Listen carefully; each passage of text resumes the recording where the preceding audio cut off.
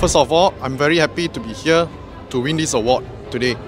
I would like to dedicate this award to our team who have worked tirelessly throughout the years for us to be here today and by winning this award, I hope that this would serve as a motivation for us to strive even harder for the coming years. Thank you.